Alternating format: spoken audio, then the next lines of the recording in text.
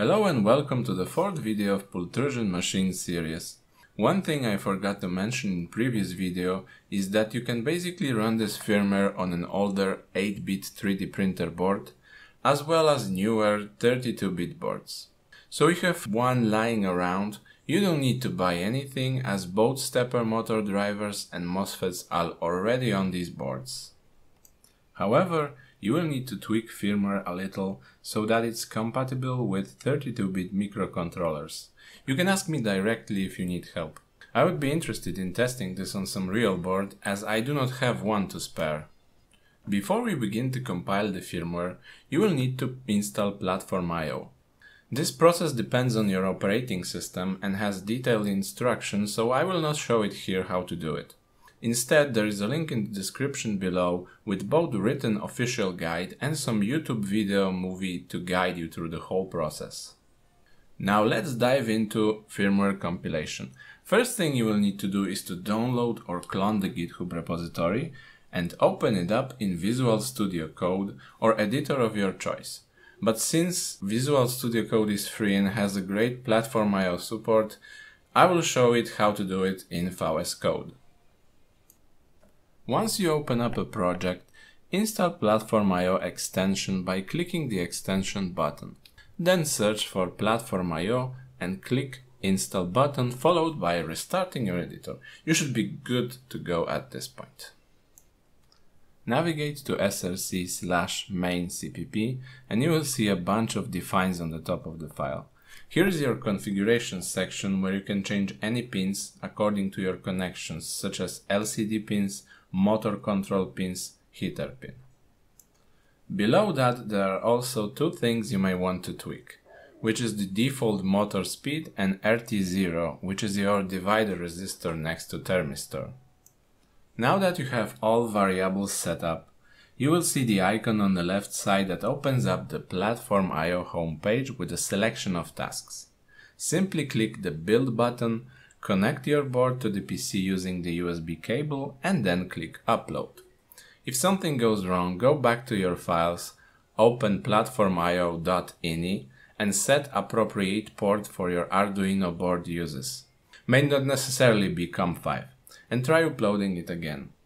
This can be checked on a PO home screen under the devices button once you plug in your Arduino board to your computer USB. And this is it. Your board should be already flashed and ready to go. Next step is tuning your pultrusion machine and there are a couple of simple steps to take. Very first thing you'll need to set up is bearing cutter. Bearings should be pretty tight against each other but not too tight, so it's easy to pull the plastic just by light force using your hands. You may need to put some washers underneath the bearing if they are barely touching at each other. Overall this is a really simple yet necessary step. I am assuming you will be using typical bottles and not the ones with very thick walls as for those you may need to change the entire height of the bottle cutter. Second thing to tune in is a combination of temperature and pulling speed. Start with the default speed 2300 that was set in the firmware and stepper driver set to 1 16th step, which is all switches connected to 5 volts. Then gradually increase the speed as it reaches around 4000. If your machine can successfully pull the entire bottle at that speed, go back to 2300 and set microstepping to 1 8 step, which is just MS1 and MS2 connected to 5 volts. Repeat this process until you are certain that filament are still within acceptable diameter and bottle does not snap halfway through. When it comes to temperature, I have found that the machine is really tolerant and operates from 140 to 220 degrees Celsius. Any less is causing some high friction and any higher causes some slight plastic melting and nasty odor. Temperature also affects the speed, so technically the higher you go, the faster you should be able to pull the bottle. But this also changes the output diameter of filament.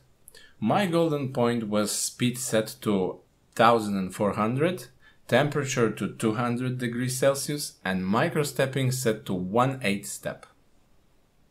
After you pull entire bottle, check with digital caliper diameter in various places to ensure it's going to be printable. From my experience, you will have hard time printing anything above 1.8 mm and below 1.6 mm. So adjust the speed temperature if diameter is not within. I have also made some contraption device made with a Hall sensor, magnet and some bearings to check how uniform filament really is. While it's absolutely not super accurate, it's accurate enough to quickly measure uniformity filament coming out of machine. I was quite surprised how good it was. Here is the graph I took and besides the very start and the end, the tolerance was within 0.05 millimeters.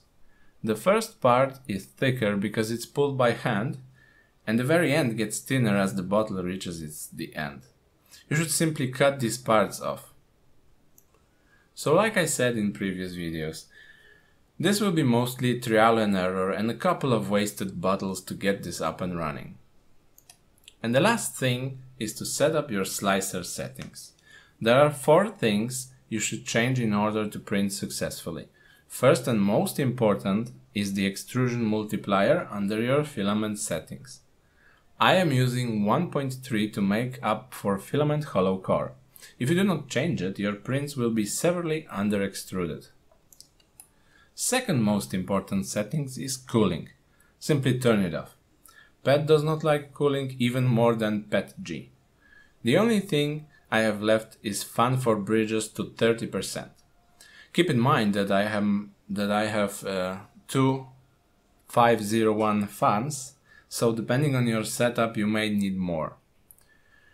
You may also want to play with layer time goal, as with small details PET will begin to crystallize if you start stacking layers fast. I do not care if that happens, so I have disabled this feature. When PET crystallizes, it begins to turn cloudy, but also gains a lot of strength in the process. Third setting is limiting speed and volumetric flow rate to about two-thirds of your hotend capabilities. I have decreased this even further down to 40 mm per second and flow to 4 cubic millimeters per second.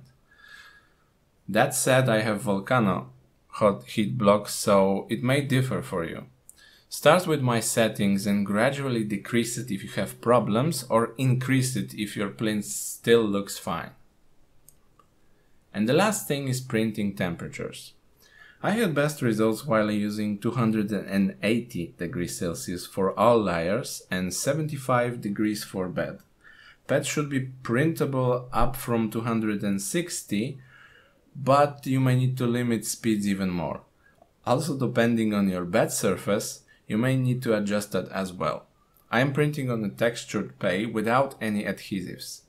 If you have glass or smooth PEI bed, you may, you may need to use some glue sticks or you can damage the bat in the process.